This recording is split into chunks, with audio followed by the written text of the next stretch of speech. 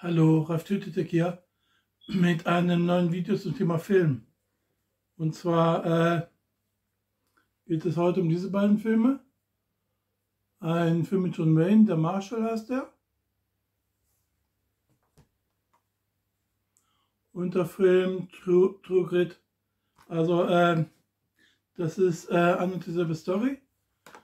Ähm, ein äh, junges Mädchen engagiert einen äh, trinkfesten und schießwütigen äh, äh, Marshall, äh, Rooster Cockburn, um äh, den Mörder ihres Vaters zur Strecke zu bringen. Und äh, dann schließt sich den beiden noch ein Texas Ranger an und äh, die sind dann auf der Jagd. Und ähm, ich wollte euch mal erzählen, äh, welcher von den beiden Filmen die Hörerpunkte bekommt. Also äh, dieser Film mit John Wayne. Äh, John Wayne hat für die Rolle auch einen Oscar bekommen. Der bekommt von mir 8 Punkte.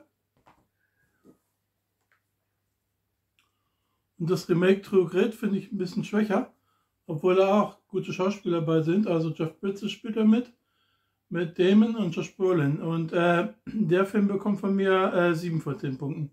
Also äh, den mit John Wayne, den finde ich ein, ein bisschen besser. Ja gut, äh, das war's auch schon mit diesem Video. Und ich würde sagen, bis zum nächsten Mal.